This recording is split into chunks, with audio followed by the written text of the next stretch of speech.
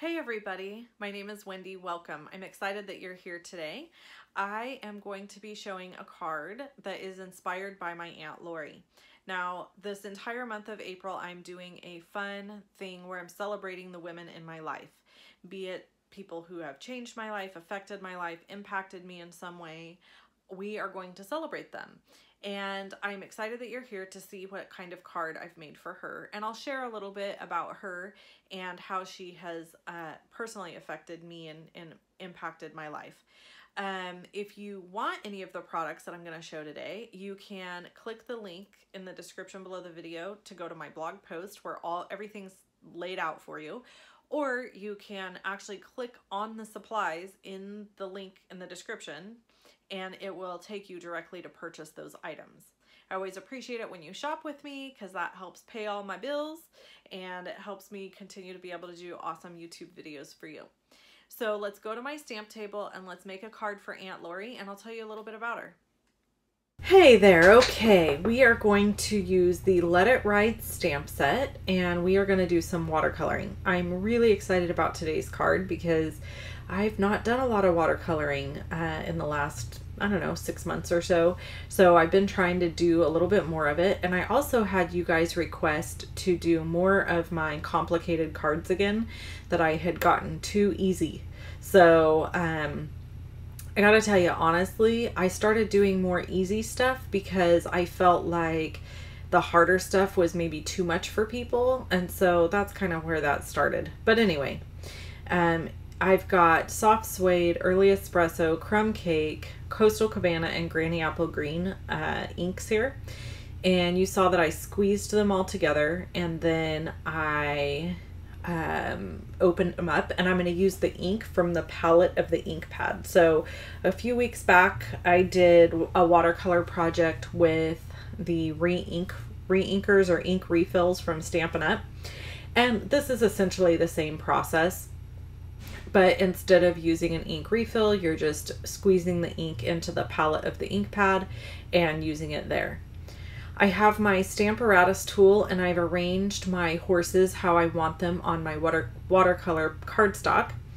And I'm stamping multiple times with StazOn ink because this uh, watercolor cardstock is very toothy, which means it's got a lot of texture and to get the ink stamped well and down in all the little crevices, you have to do it multiple times. And the only way to do that is with a stamping tool like the Stamparatus. So now I want to draw in some hills. So I want to give the illusion that the horses at the top are far off in the distance and the horse in the front is coming towards you. And so that's why you can use both of these um, images on the same card. This is a pigment pen. It is waterproof. And so I'm just drawing in some of the hills and the lines, just kind of sketchy lines. I'm not stressing very much over perfection or anything like that. I'm just going for it. And um, that will give me a place to work my color from.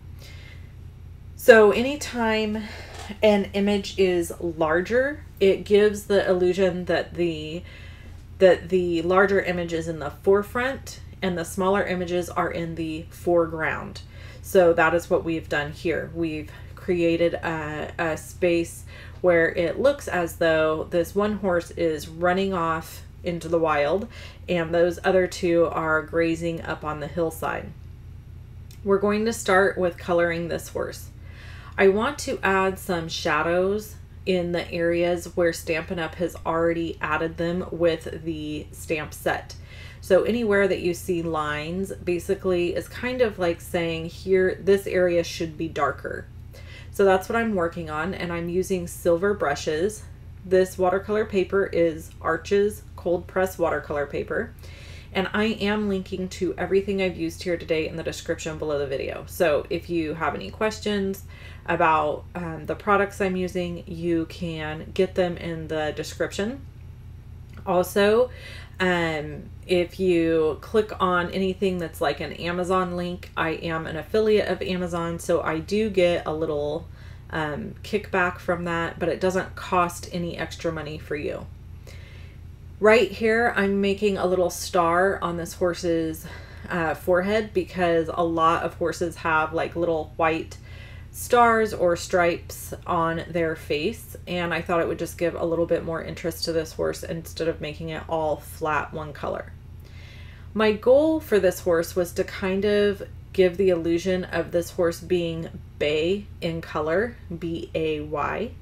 A bay colored horse has black legs, black nose, black tips on their ears, and their overall color is kind of like a warm brown color, a little bit red. And I did not do a great job. I didn't do a great job. I should have had a watercolor black ink to add the black to the legs, but I didn't have any and I wasn't going to redo anything or start over, so I just made it work. I'm going over everything with crumb cake ink to kind of tone down that early espresso. And all in all, I enjoy how this horse came together. It did take a little bit of finagling to get things the way I wanted them to. Um, and I had to come back to it later. But ultimately, I got the results I wanted. Then I'm adding crumb cake to both of these horses, except this horse in the back, I am making a paint horse. Paint horses have white spots on them.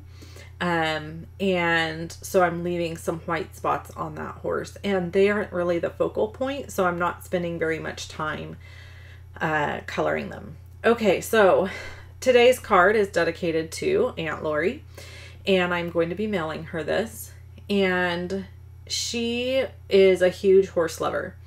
And when I was a kid, um, I can remember it like it was yesterday because it was huge, a huge thing for me. Um, my Aunt Lori and her husband, one year for Christmas, gave me an entire year of writing lessons. So every, I think it was like every Thursday, my Aunt Lori would pick me up from school and we would go to writing lessons in Sacramento and the horse that I rode's named name was Fish Lips. And he was a sorrel horse, sorrel quarter horse, and he was beautiful and I loved him dearly. He was such a good horse and so awesome to ride and just easy. Um, I have no natural talent for riding, none. I'm not good at it. It's not my cup of tea. But I wanted it to be really, really bad. And the other thing is, I was always a little afraid of horses, which honestly, most people should be because they're powerful and they're strong and they have a little tiny brain. And so um, they can, if they are not treated right um, or dealt with correctly, they can be very dangerous. And so, anyway, I would go with Aunt Lori to these writing lessons. And on the way, we would stop um, and have McDonald's. Please don't judge. This was, people, this was in the 90s when it was still okay to have McDonald's, okay? So we would stop and we would have McDonald's. And we would do this thing with the french fries where we would pick up each french fry and we would test it and we would push it down on the countertop. And if the french fry like folded and buckled, we didn't eat it. But if it was like, crunchy and crisp and strong, we ate it and we called them um, the other fries wimpy fries. And real quick on this card, I am randomly going around and adding the coastal cabana. I want this to look like clouds. I don't want it to be this even sky. I wanted it to be very loose and very open. And so that is why you can see here that that it's like that. Yes, I wanted it that way. I'm going back in where the hills are and I'm adding some depth by adding, adding another layer of ink and letting it just kind of move about. But I wanted it to be darker right up at the top and fade in a little bit as the hills tuck behind each other. Now, ultimately, this is incorrect. I actually should have done the opposite. It should be darker at the bottom and lighter at the top because the sun would hit the top and the shadows would be so like where my bottom line is I should have it dark behind that hill because that's where there would be shadowing. I did it incorrectly. I don't care. It's not a big deal. It's a card.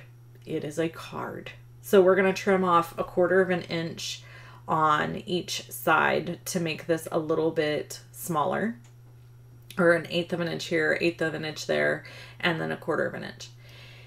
And so, anyway, back to what I was saying is we would test all of our french fries.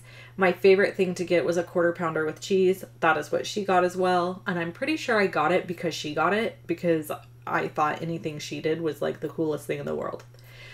So that's the other thing about Aunt Lori is that she um was she's only 14 years older than me. So she, I always kind of looked at her like an older sister or somebody you would just really look up to. I, I was like five, she was 19, right? So you know that dynamic where there's like a little kid and they look up to the bigger kid, like, oh my God, you're the most amazing thing in the whole wide world. So we had that kind of a relationship. I just idolized her. One of the things I did not show you is that I stamped those trees that are also in the Let It Ride stamp set, and it really pulled the card all the way together. Um, I'm actually right now heat embossing the sentiment that I just stamped. So anyway, that was my time with Aunt Lori. We there were lots I would stay the night at her house and hang out with her and I just adored her. I just loved her. So in my adult life, um, we've had our differences. We've, you know, had times where we haven't talked or things haven't been copacetic for one reason or another. But um, ultimately, she has always been, and now everything's good.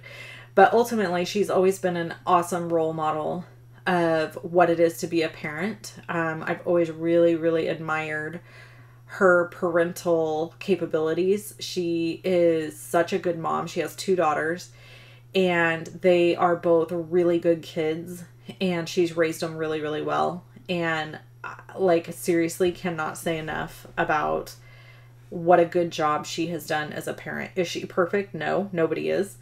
But I mean, I just, I, she's somebody that I actually mimic um, her behavior as a parent and how dedicated she is to her kids. That's always my goal is to be that dedicated. And one of the best things she does is she keeps her kids really busy, which means they stay out of trouble. And so that's something I have emulated. I keep my kid really busy to keep her out of trouble. so, you know, idle hands and whatnot. All right, so we're going to add this sentiment and it'll probably pretty much wrap up this card. Um, I hope that you have enjoyed this week of hearing the stories about my aunt and my mom. Um, they all have something really awesome to bring to the table and have all impacted me one way or another.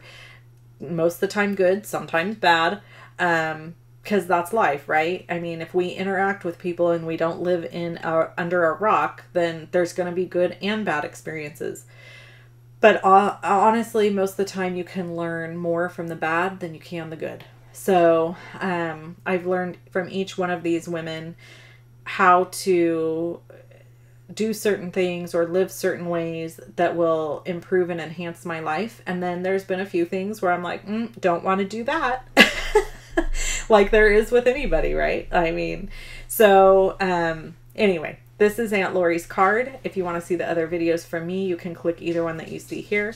Click on the circle with my face in it to subscribe to my YouTube channel. You can shop with me at shopluvinstampin.com. And I hope you have an awesome day, and I'll see you again next week. Uh, also, don't forget you can also order that awesome storage stuff right now from Stampin' Up! as well. Thanks so much. Bye.